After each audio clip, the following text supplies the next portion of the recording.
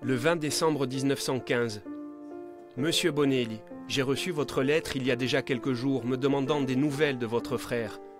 Aussi je ne puis vous laisser plus longtemps dans l'attente. Votre frère était un excellent gradé et estimé de tous à la batterie. Il a trouvé la mort dans l'accomplissement de son devoir. Soyez fiers de lui, il est digne du nom de Français.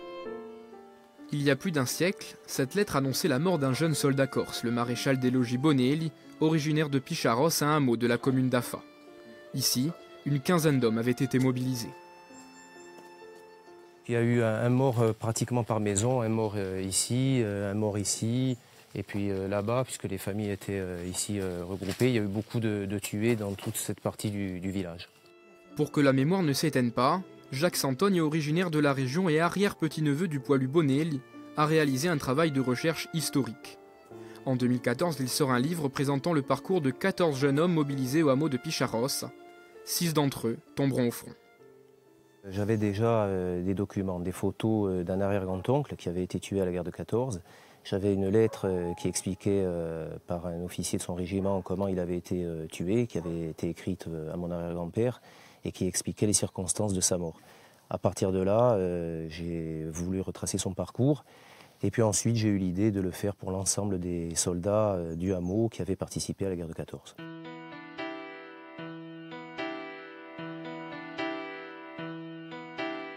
Grâce à ce genre de recherche, les chiffres relatifs à la Corse pendant la Première Guerre mondiale semblent se préciser depuis quelques années.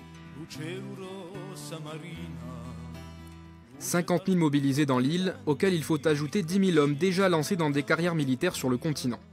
Au moment de la démobilisation, le bilan est d'environ 12 000 hommes tués, pour presque autant de blessés.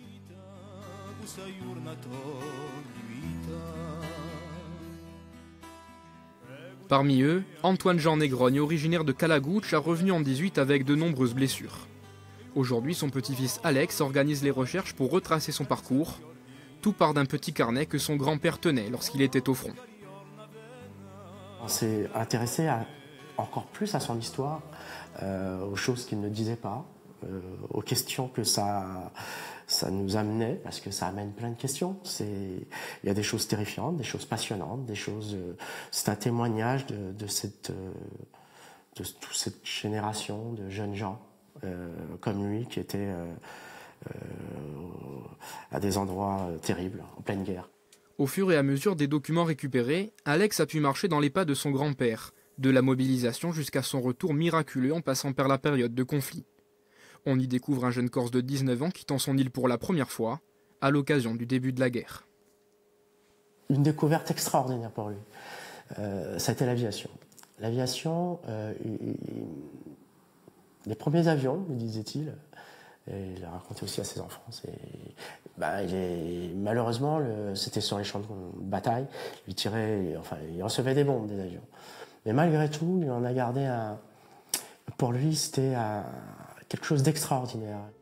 Aujourd'hui, les photos sont fanées, les lettres peinent à être trouvées les carnets de soldats deviennent difficilement lisibles.